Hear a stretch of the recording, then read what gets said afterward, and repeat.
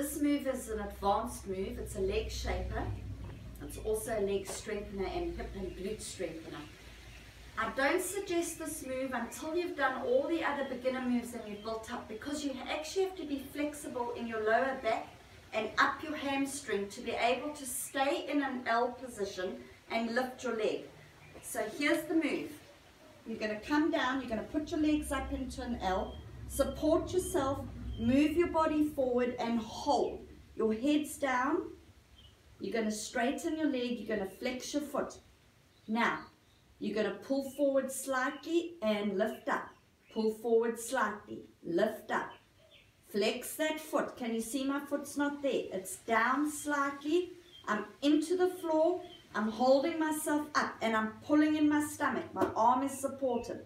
One, forward, two, forward, three, forward, four, forward.